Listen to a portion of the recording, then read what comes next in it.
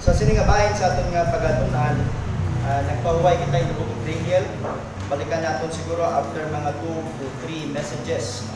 I've decided to preach sa sinigit nga tiyon about the commitment, uh, consistency, conviction, and evangelism. Part of Christian life. Now, sa aton passage nga aton natunan subong is in the book of Matthew chapter 16 verses 24 to 26 entitled Is Jesus Christ the center of your existence? Si Yesu Kristo bala ang sentro sa imo pagtuhaw sa sining kalibutan nga nga ari ka diri suko. Makita naton discipleship is costly.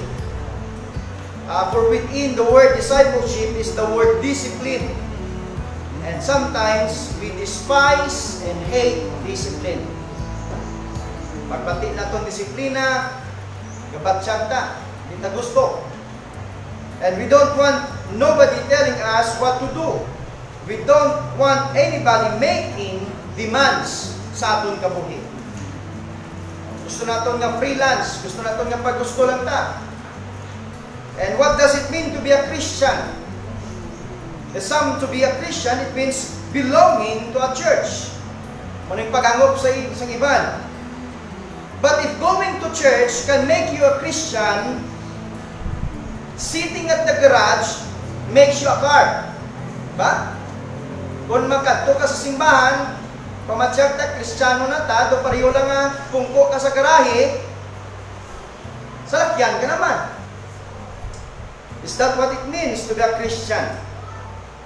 Still, others believe that being religious and morally clean is enough to allow one to even wear the name Christian itself. Others believe that baptism or confirmation makes one a Christian.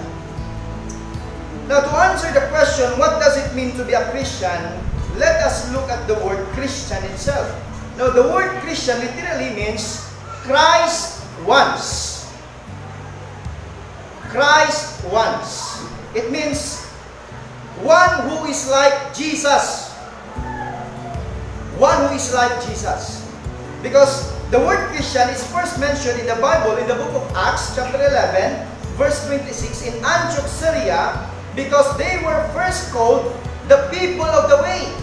Gitawag sila na nga mga tao sa dalan sa dinagsiling si Kristo, I am the way, the truth, and the life.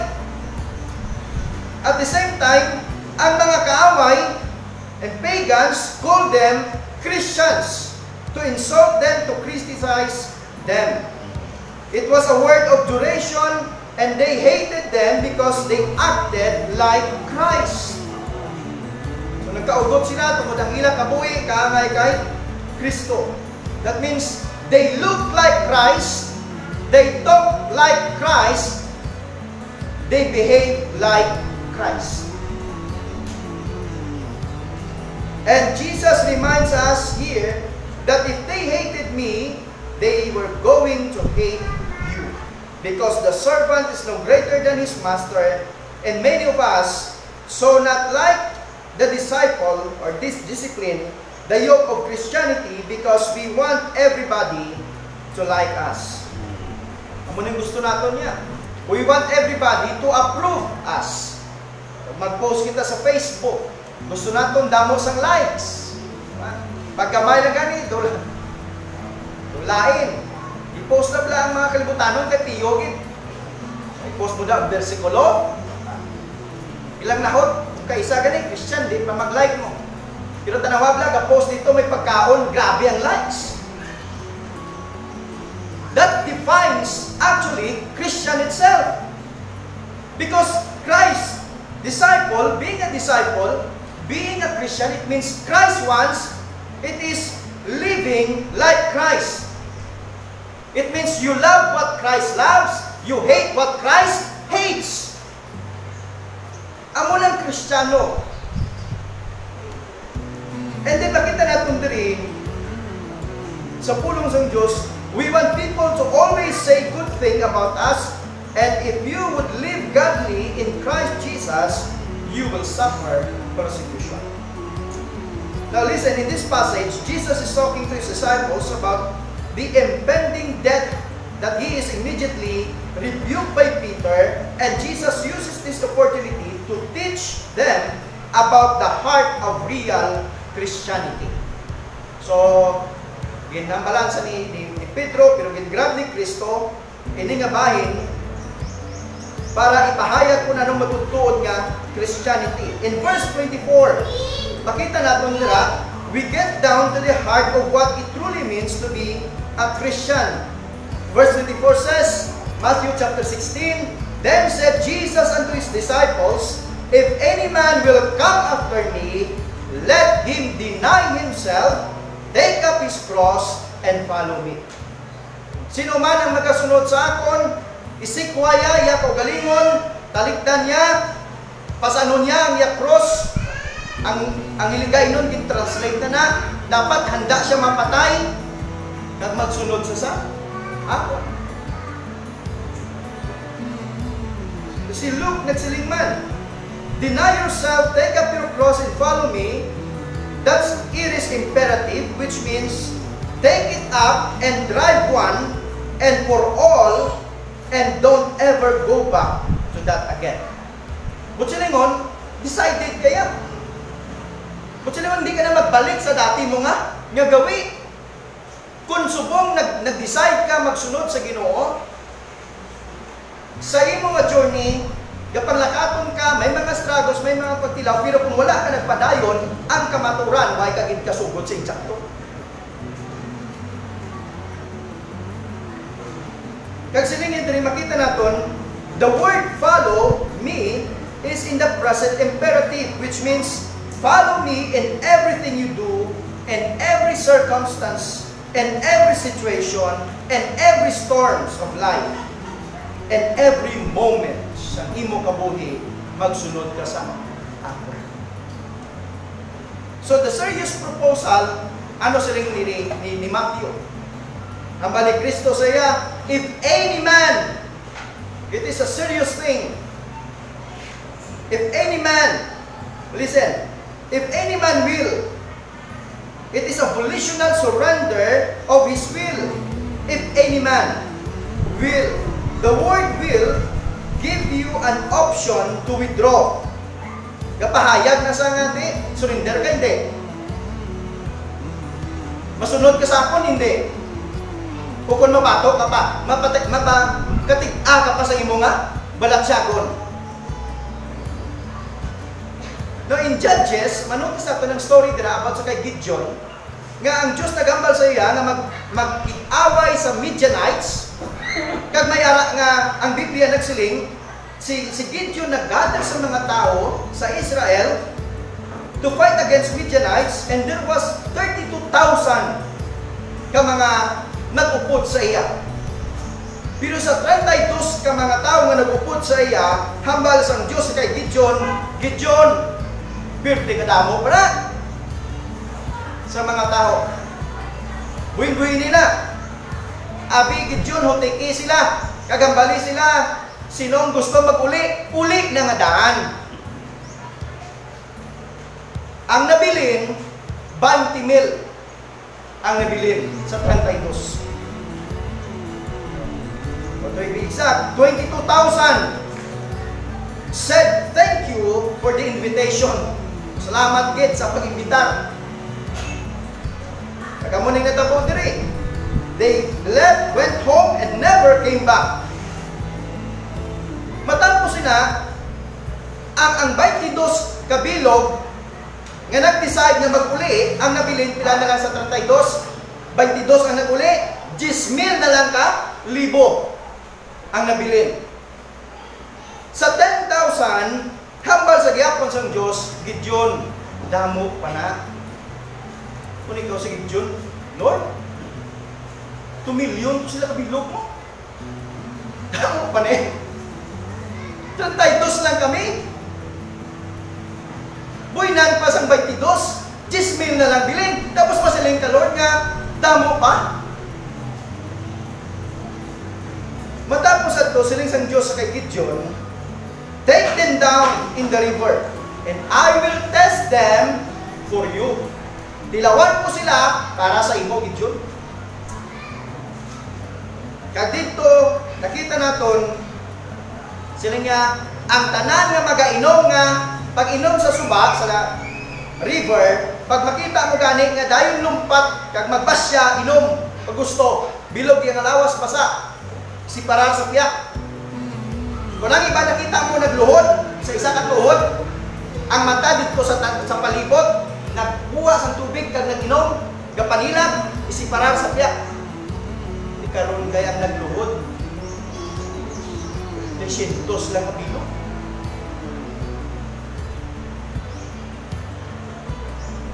Sa Diyos, ang 300 enough na na Gideon. Hambal ni Gideon kung sa aton palo, withdraw na pa. Ikaw bahala. Kaya posible, base sa digan ni Gideon, ang 32 ka mga soldado kag malipat sa nga magsandig sa Ginoo. Sometimes the Lord teach us how to withdraw. Ang ining 300, makita naton diri were left. Ang ang point diri makita naton the 22,000 left, everybody does not want to be a soldier. Atong 22 to bala nga ginutikan, di kon mauli, amo uli na. Nag, nag, nagkanto lang sila sa simbahan, pero ang kamaturan, hindi sila willing mangin soldado sa Diyos. Hindi sila willing nga mag-alagad sa Ginoo. Ginbuhinan pagit sa sang Diyos. Everybody who shows up don't want to be to be there. Somebody here is here because sometimes siguro kasi kung ginutikan ni nanay, ni tatay, ni tat ni, ni lulo, ni lula, simba to. Matapos ato, ang nabilin, gamay na lang. Kaya ang kamaturan, wala sila sa desire nga magkadto sa simbahan kag para sa ila daw routine na lang nga magsimba. But that's not a good reason nga maaari ka kani sa simbahan. And then, sa 10,000 nabuinan, sa 9,900, were not qualified. Hindi man qualified. Now, we don't go to church like watching TV or a movie. Inabalang diin nga, pwede ka katulog, pwede ka ka istorya, pwede ka kapamantay sa imo nga palibot. Ari kita diri sa simbahan, hindi pariyo sa balay. Hindi pariyo nga gapungko ka ga uyat ka sa limot ka katanaw sa nga pagusto ka kung anong imuhon mo, no. We don't go to church like how we do things at home or kaangay sa fraternity. This is the body of Christ. This is not a simple gathering of a crowd. This is a gathering of a church. Simbahan niya sa Diyos. Ginpanghinmat yan sa dugo ni Kristo. Called to give God the glory. Sunday is not a day of revival, but a day of reverence para sa Ginoo. It is not a day of wailing, but worshiping the Lord of Lords and King of Kings. This is a day of a willing people. Mga tao nga willing magsimba, mag-alagad sa iya. If any man will come, let him come. Let him come. And drink of the fountain of life. And be satisfied and eat from the tables of satisfaction, Jesus Christ Himself. But there are those who come and want to work, but they are not qualified. Namuning 300. Left, they march over the Midianites because God don't need a church for people, but want a people for the church. He said, And if you are full of church, God can turn this community upside down. Brethren, God in Christ will have no unwilling soldiers. Kabay po ta nga rita diri willing ta tanan. Amen. Kasi pagabot si inaway na mahutikan ka lang ati, hindi ka kauli. Ulit naman. Nor come in the ranks of serving God with your eyes wide, wide open. Many times na ginahambal ko diri, why ako nagpastor?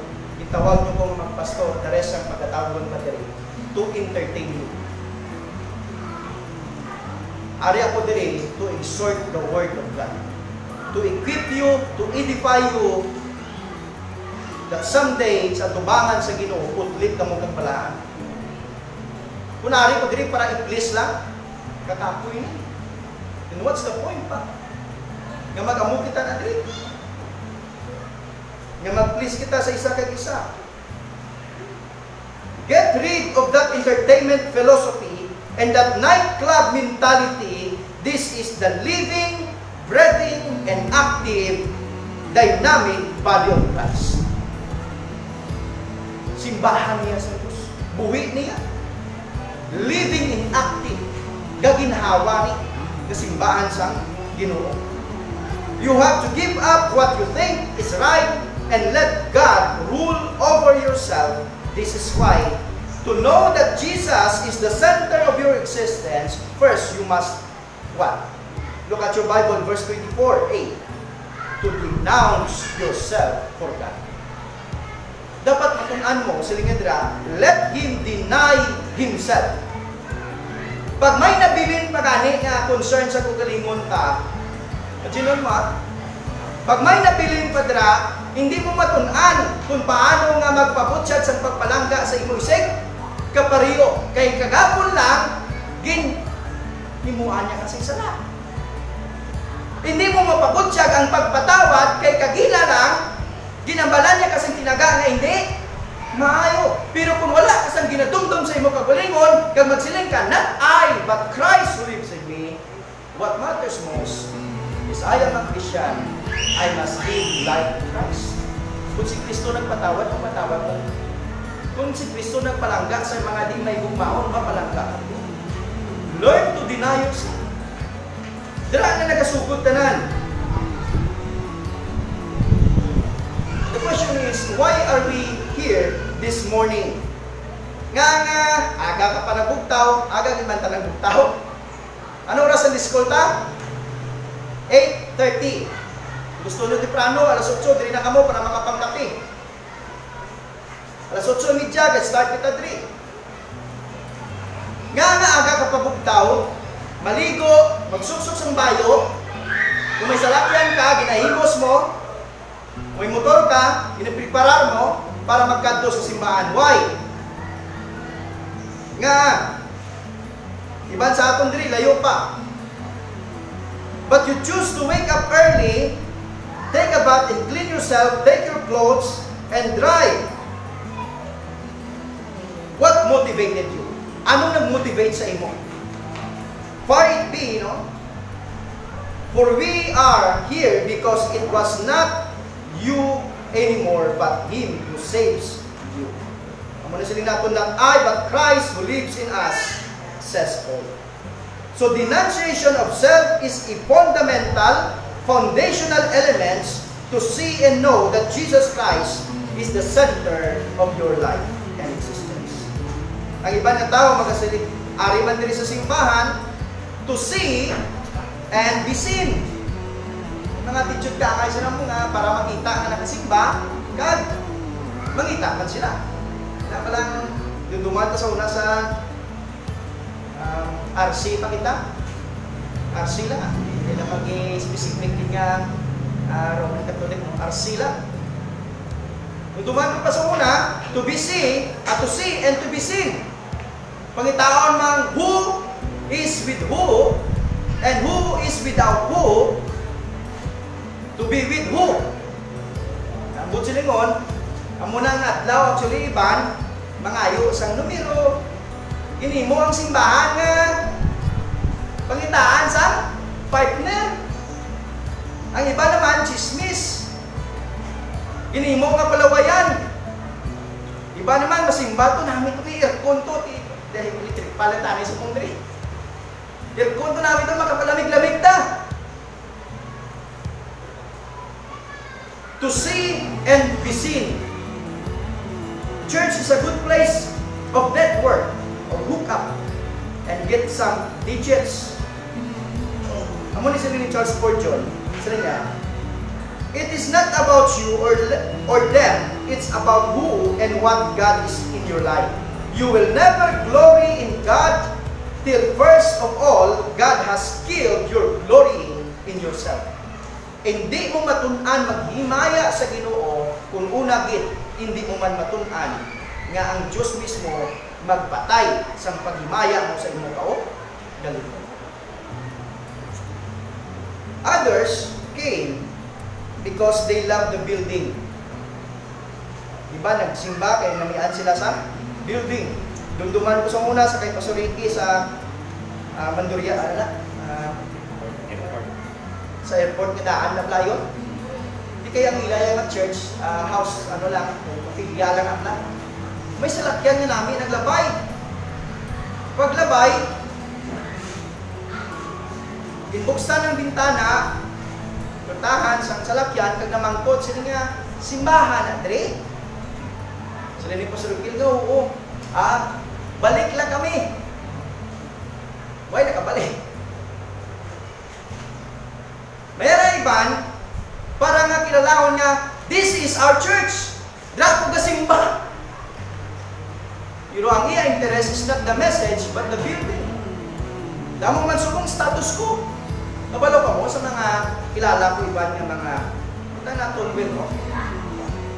May iban, hindi sila mag-church sa simbahan nga kung mga membro dira, ultimo, bigato, mix. Gusto nila, wala liugit. Kung businessman, businessman, magranon, magranon.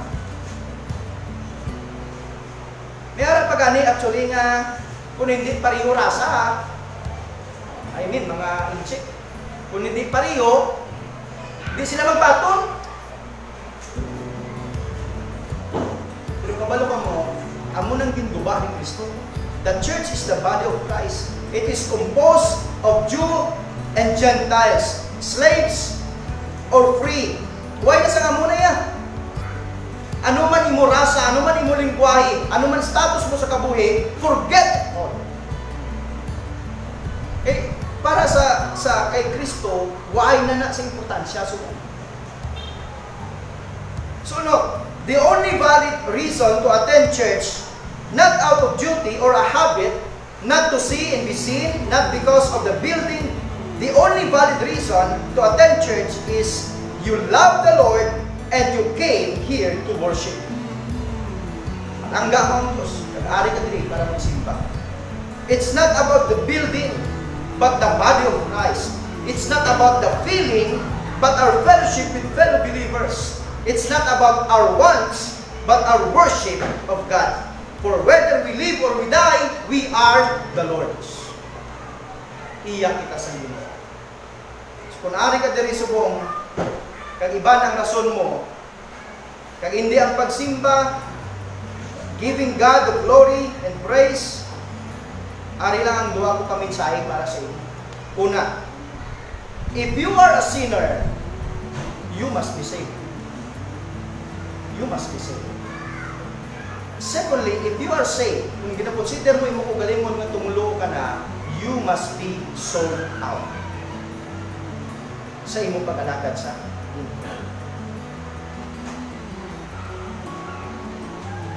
Nga ang San Miguel Reformed Baptist Church nag-exist sa pinakaunahan. Nga nga rin kita diri. Why? Listen. We are here, first of all, nag-existar ang SMRBC to exalt the Savior, to equip the saints, and to evangelize the sinner. Kung hindi man lang natin mahimaya ang ginoo, kakasunta ng sinya, ano da, ang signboard, kung tatunta lang kung hindi man lang ma-equip ang mga alagad sa ginoo, ang mga santos ang Diyos, muntat na lang ta. Kung hindi man lang ang motibo naton nga ang ibang tao makadangat sa kaluwasan, paagi sa pagwali, kag sa atong pamatasan, way pulos nga magpadayon pa ta. Amen? This is the reason why we exist. Hindi na niya para sa aton. It is all about God and for Him alone. If we are not exalting the Savior or equipping the saints or evangelizing the sinner, we are open under false pretenses. Na imagine mo lang lang, adto ka sa Jollibee, kilalang Jollibee sa ano? Fried chicken. Diba? Tapos pagka mo dito, ma-order ka sa fried chicken, masiling sila nga out of order. Namatsagan mo. One time, tungkol ko si, ano ni, Juna, nagpapolo kami sa Darwin. Grabe itong ano sa pandemic. Kundi bawal ang bata magsulod. Pero sa ulit, doon pinbalik naman naman. Pagabot naman dito, nagparking kami. Mayara dito ng bata. Yung tingin, yung tumbok. Isa, kalipay ah. Eh, para makasulod sa, sa mall. Pagpanahon pa lang ang gwardya, ara na mismo sa salakyan. Kag nagsiling, sir, sinsya, sir, hindi pwede kasulod ang, ang bata. Hulog biya sa, sa bata. Or, kadto ka sa refill, water refill station. Pagkadto mo dito, baka ka tubig, pero why say? Tubig. And now, you go to church. Ga-expect ka na magsimba sa Ginoo but they are not worshiping God. Ga-expect ka na ma-equip ka, ma-edify ka, pero wala sa equipping and edifying because there is no preaching of the word. Tanan kanta na nga kanta. Why na sang wali? How can you be equipped? Kag wala man lang sa mensahe isang kaliwasan ng paglaho.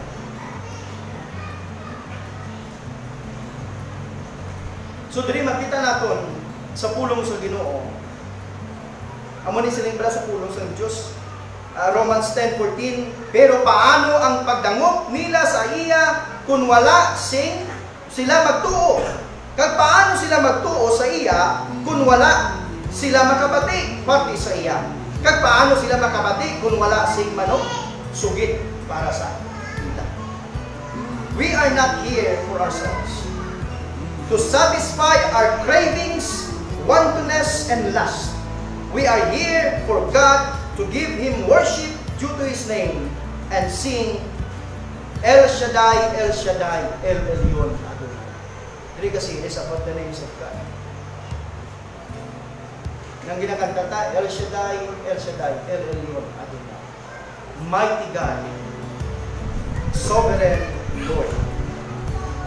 To deny means, in Greek word, apanomai, it means to affirm that one has no acquaintance or connection with someone.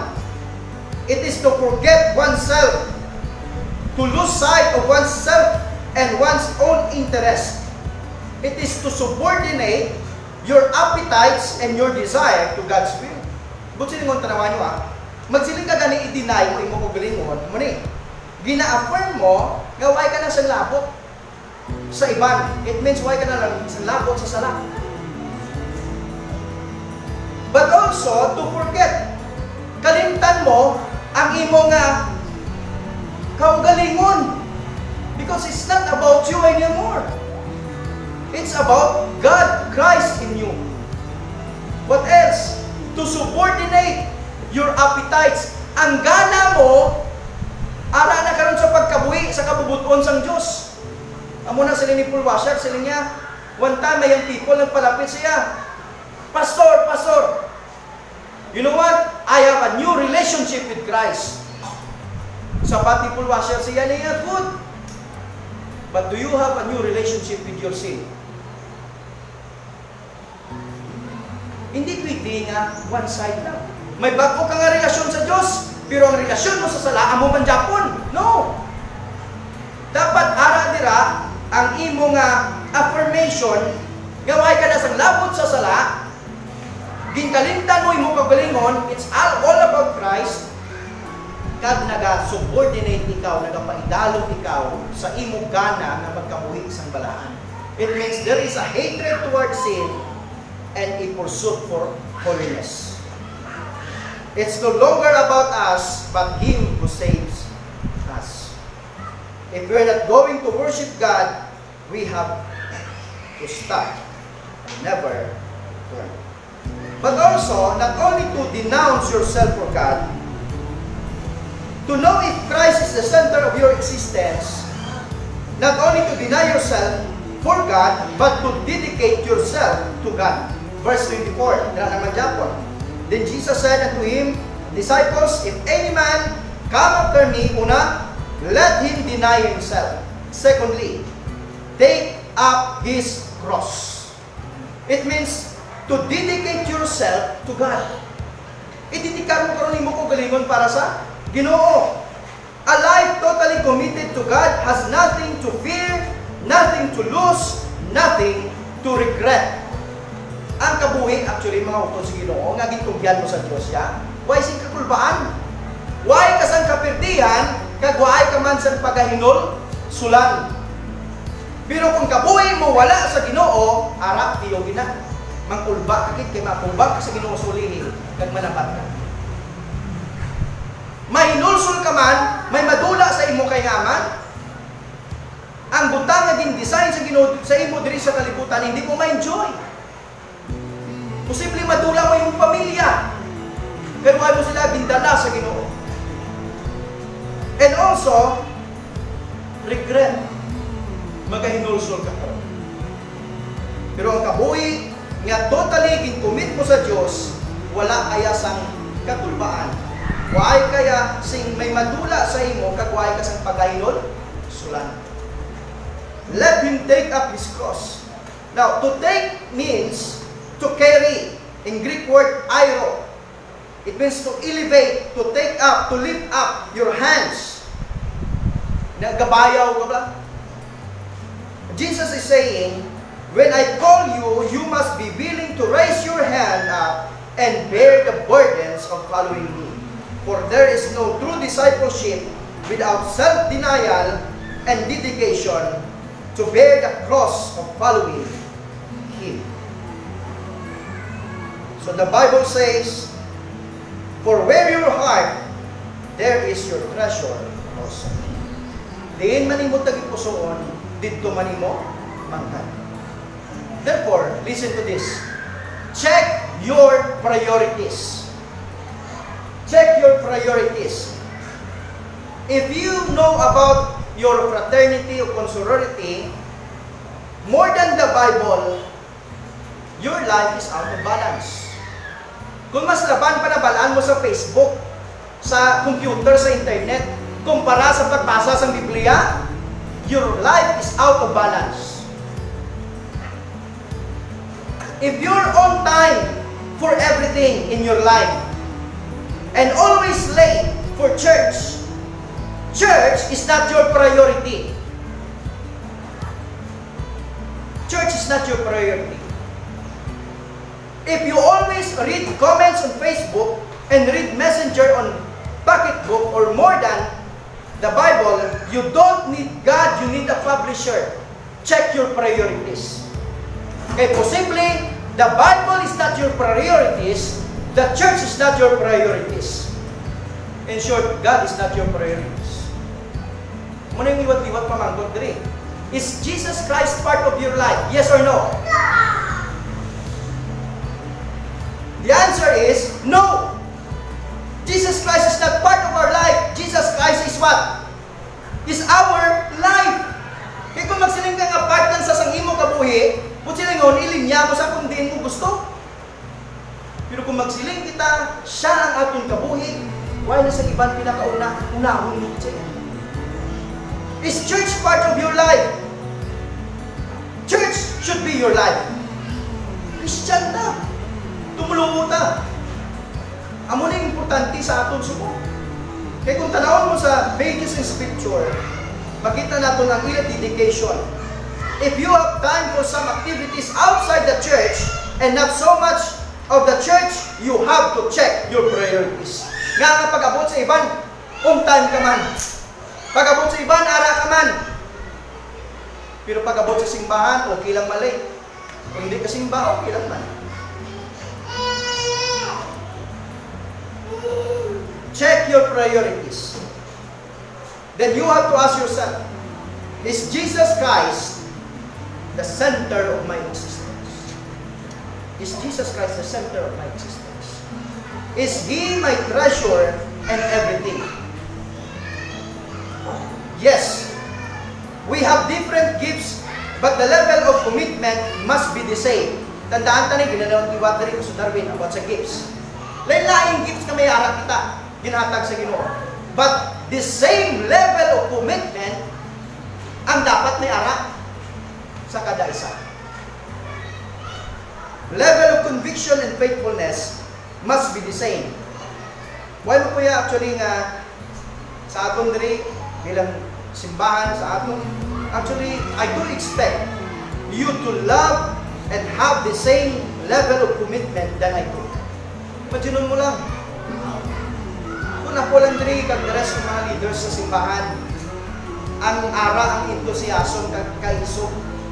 Pero kung tanan-tanan kita the same ang level, makita naton kung ano ang impact naton sa komunidad. Amo nang gina-expect sa Ginoo sa aton diri as a corporate church. Because the same thing it takes for me to go to heaven is going to take you to go to heaven. There is no part-time Christians. Amen? Sa umbrala na may part-time. Pero kung tumuluho ka, why sing part-time? There is no section for pastors separate from members. The same qualification that it takes them going to heaven is the same for you if you are committed to Christ. So I expected you sa aton diri sa simbahan that we have the same level of commitment. Take up your cross. Now the word cross in Greek word storos meaning kasi na actually i Roman crucifixion. Sa aton supong yan, normal lang, di ba? Kasi ka nga pasanay mo nga na cross. Pag sila nga pasanay mo nga cross, do, ah, kabudlayan mo, pasana lang ta. Pag tilaw mo, pasana. Pero sa ilang at simpo, it is more than that. Kaya pag sila nga, take up your cross, ang ara sa mind nila, ang cross, ara sa Roman Empire. Ang cross, sang kamatayon. Ang cross, gasimbolo sang Golgotha kag Gehenna. Now, man sining kita Gehenna, it is a place of suffering. Ato lang tion nga ginpakupo si Kristo sa dako nga bato, kaginhanos likod ya kagin bakol sa. That is what we call Gehenna. But not only Gehenna, but a place of Golgotha. A place of death and judgment. Therefore, gahambal si Kristo dire, kung gusto mong magsunod sa akon, una gid talikdan mo imo kong galingon. Kaya kung hindi mo una matalikdan imo kong galingon, hindi mo matun-an paano magpanginmatay para sa akon. Hindi ka gid ready sila. Kasi comment sa rumuti, paano na kuya bay? Ako hindi mo ko ka-promise. Magabot ang tiyon, mga persecution nga grabe. Kagalimbawa, gawali ako diri o may mag-threat sa akong kabuhi. Kaya kung magpadayon ako, makasiling ako ayan nga, hindi ako yung magpuntat sa pagpag. It is only by the grace of God. But if by the grace of God, nga enable ako nga magpadayon sa gyapon kag madula kabuhi ko samtang nagawali, I will have that privilege. So silinga diri guys gahambal ini actually sang sang death sang kamatayon. That is you are ready to die and face death for Christ's sake. Tandaan ta, ang atong pamilya, hindi na mo yan cross tayo. To have a family is a privilege. But also, children is not our cross.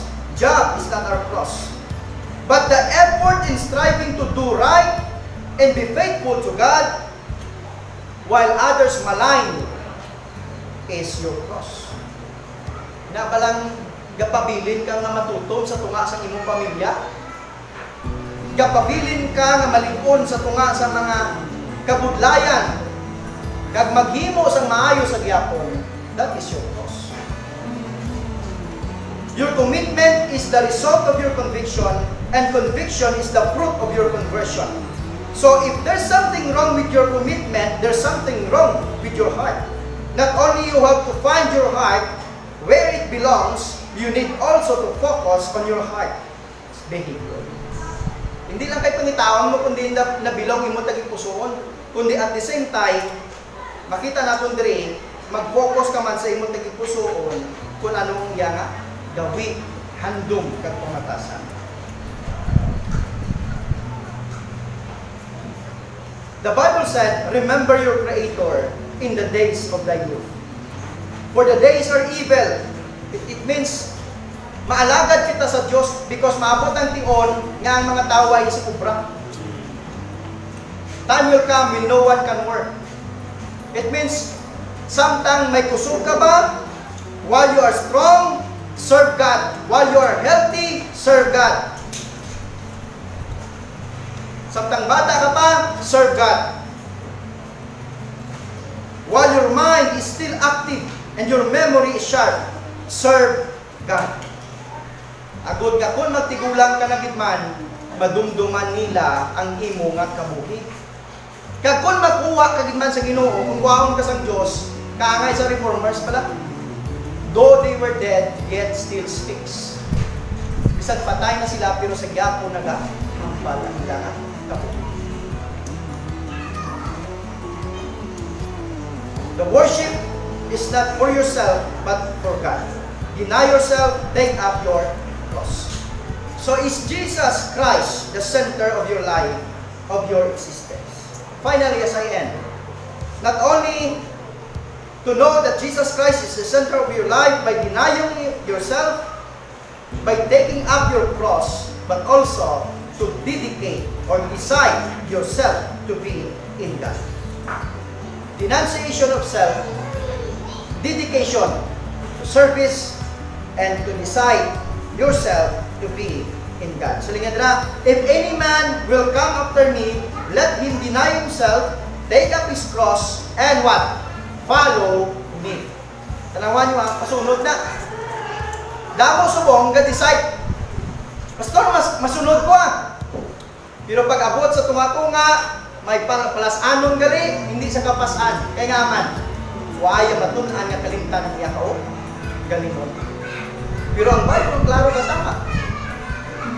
Makasunod ka lang sa ginoo, mapasan mo ang cross mo kung matunaan mo ka kalimtan imo kao, galingon. To empty yourself, to surrender yourself, to withdraw before God, and let God rule sa imo nga kabuhi. Ni makita naton rin silang galing sa isa ka author sa ano ni book. If you don't plan to to live the Christian life totally committed to knowing your God and to walking in obedience to Him, then don't begin. For this is what Christianity is all about. It is a change of citizenship, a change of governments, a change of uh, challenges and allegiance. If you are not ready and have no intention of letting Christ rule your life, then forget Christianity. It is not for you. Why ka lang di plano nga mag-alagad sa Diyos nga magpadayon, lain na niya. Ina ba lang pledge of allegiance? Di ba? Nagkahimo kita sila. Lain na subong mo citizenship. Allegiance mo hindi na sa. Righteousness na. Pero kung wala kasing plano nga magpadayon dira, hindi para sa imong Christianity. And don't claim nga ikaw Christian because it is a great offense sa tubangan sa Ginoo nga magsiling ka, I am one of Christ. Tapos masiling ka, Christian ka, pero ay kita kakabuhi. Kag plano nga magkabuhi ng mga tao. Kag magsiparar sa taglupa. To follow one. So you have to follow God, what He wills, what He wants, in His ways. God cannot use you. Nga sa diin, masiling kita, paano ka gamiton sa Diyos kung nara ka sa club? ara ka sa beer house. Paano ka gamiton sa Diyos kung ara ka sa bulangan? Kung ara ka sa ilingnan? Tapos maklaim ka nga Christian? Listen, we think too much of the cross as an instrument of reconciliation and forgiveness and too little of the cross as a way of life. Iwatong ba? We think too much of the cross as an instrument of reconciliation and forgiveness and too little of the cross as a way of life. Ang cross, hindi lang na instrumento para sa pag pasag-uli sa aton sang Diyos kag pagpatawad sa atong sala. It is also a way of life. It is a way of life. Sila ni Tim Keller, if God is not the center of your life, something else is. Kung si Kristo hindi sentro sa imong kabuhi, kung sila mo, iba. Muna nga pag-abot niya sa pagsimba, kung para sa imo Why kagid man plano, para sa imo sa way lang, makabugtaw ka sa aga, okay lang. Kung hindi ka kasimba, oh, okay lang. O Sabado pa lang, pero kung naintindihan mo, Sabado pa lang, okay, himos na ha. Why kahoy, pangahoy na kadaan. Ano kulang? Prepare na. Para pag-abot sa Domingo, ready ng tanan. Sa balay, kabataan normal, kaisa, padubol na. Isa, natuyo pa. Pero ginahimo na namo. Sabado pala. Ready na lang mga bayo nila. Okay, pangita na kumong bayo ng sukot sa bus. Gabi pala na plansa na nakanta na. Hindi nga pagka Domingo. Dali lang. Ligo sa ko. Ligo. If you have plan to serve God, make God first the priority sa inyo pa. Kag mag-affect na sa sa adlaw-adlaw. Sa tatay, arin eh. Amo na ng sitwasyon niya, aga pa kagina siya pinakauna dire. Di sa pa na, ano ganang lugar yung mga Sa Tiago pa. Kita atong dire, nearby. Gakanay pa ta. But we claim to be Christian. Worthy kita sina. It hurts, yes. But because I love you and I love God, para ni sa aton. Amo ni importante. Coming to church does not make one a disciple or being a member of the church a disciple. It's just a membership like others. But membership we have as a church is so much different in a way of perspective, purpose, and pursuit. Pero ang pagka-membro sa simbahan, mas lain na yan. Kay lain mo perspektibo, lain mo tinutuyo, lain mo nga purso. For membership in the church has its responsibilities. Pero madamo subong, there are too many of us looking for privileges with no responsibility. Sakto hindi? Gusto natin pribilehiyo. Sunday after Sunday, we hear the privilege of listening to the Word of God. Kung ikaw membro diri, gina-shepherd ka, gina-guide ka, gina-nurture ka. Pero hindi mo gusto may responsibilidad. Pero pag abot sa SSS, okay, requirements mo mo niya, oh, apply mo. Tapos, may papilis ka daw problemado, biskan layo, katuan mo gito, para nga process na na. No? PhilHealth mo, ah, na talupagdan, aklido mo sa la, o ano. Pribiliyo mo mo ni. Kato ka sa bangko, amo ni mo mo to, amo ni requirements, amo ni mo responsibility, amo ni mo accountability. Why reklamo? But why is it when you come to church, kag maghambal ang pulong sa Diyos, live a holy life. If you are a member of the church, you are responsible to be salt in light of the world. Dali lang ito, pastor. Ginamay mo. Kung magkasala ka utod, palangga ka sa simbahan, palangga ka sa Diyos, ginagamit sa Diyos ang, ang simbahan para i-discipline ka, not to condemn you, but to restore you. Dali lang pastor. Kung ano unaan ko nanay, kung mapamimbro ko, pastor. Pero ti, masimbala ko kun gusto ko. Makagtula ko kun gusto ko. Pero hindi ko gusto sa responsibilidad. Following Christ has its own responsibility. Because, Ari, you cannot fool God. Di mo yamin ito ang Diyos, ah. Because what you sow is what you reap. Pwede mo ma-deceive ang simbahan, but you cannot deceive God. Amen? Pwede nyo ma-deceive ang mga leaders sa simbahan, but you cannot deceive God. Ano man imo itanong, amo man imo nga, nga aningon. Amo nang nga si Moses. Gambal si Moses, Lord, kung hindi ka mag-upod sa amon, hindi kami magkatutoy. What's the point? Naway ka diri. Naway ka sa amon. God want more of you than on Sunday. Being a disciple must be a way of life that a godly behavior is evident not only at church, at home, but everywhere and anywhere you are. That indeed is the center of your existence. He is your breathing in and breathing out. Tilawin mo lang. Puro ka lang breathe out, breathe out, breathe out. Why ka ti breathe in? Pero kung naintindihan mo, nga ang Diyos mismo among imo nga ginhawa, breathing in and breathing out, it means you cannot live without God. Amen? It means, ang sentro dapat sa imo kabuhi, existence, siya lang din. Dira, makadecide ka na mag-alagad sa. If we don't go to church, if we don't get involved in ministry, that's because we don't want to get involved. Amo nang totoo sila. Ang kamaturan actually, nga may iban nga hindi sila nga mangimbahin sa simbahan kay kamaturan sa pinakauna pa lang, hindi na sila gusto. That's simply because you have made up your mind that I'm going to be on Sunday morning a marginal, peripheral member of San Miguel Reformed Baptist Church, and if I feel like going, I'm go, I'm going to go. If I don't feel, I will not. So, tandaan ka, you cannot, again, fool God.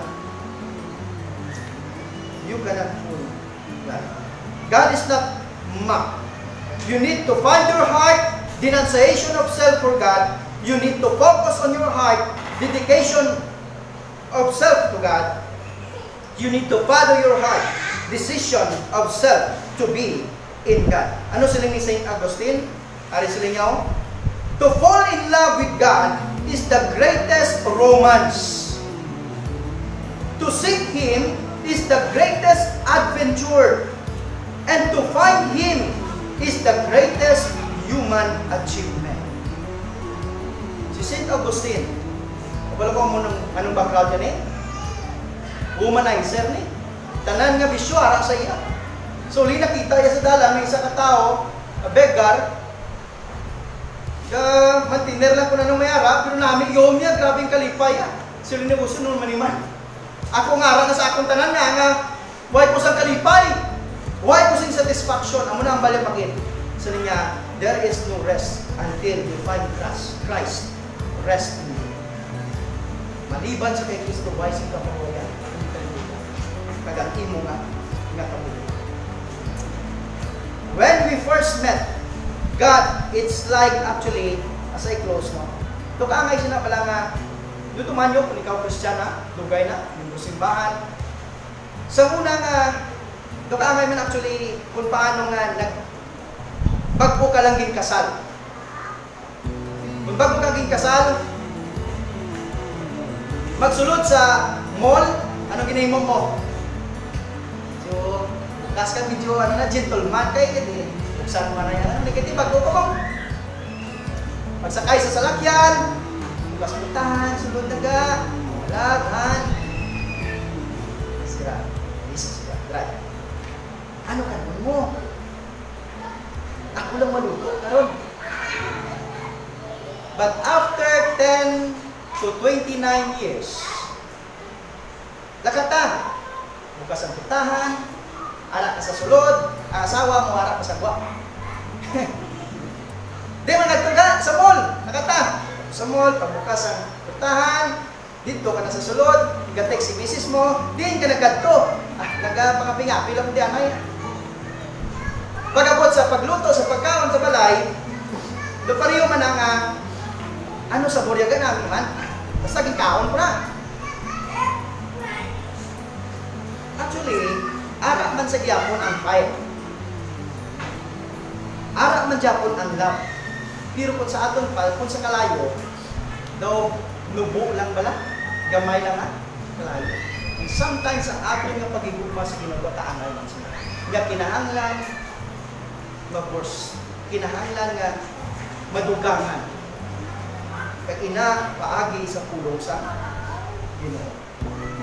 We need to be constantly reminded of our love for God, of how good God is, and that our enthusiasm be burst to shout for His goodness and greatness and give God the glory. Is Jesus the center of your existence? Deny yourself to God.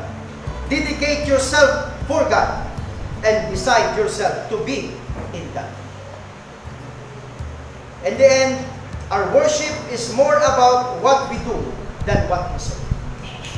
Ang pagsimba is more of what we do than what we say. Find your heart to be in God. Focus your heart to be with God. And follow your heart towards God. Asa yan? Mula sila sa pulong sa Ginoo. In verse 25 to 26, let me read. For whosoever will save his life shall lose it. And whosoever will lose his life for my sake shall find it. For what is a man profited if he shall gain the whole world and lost his own soul? Or what shall a man give in exchange for his soul? Is Jesus Christ the center of your? Is Jesus Christ for you? He is all. May the Lord bless us.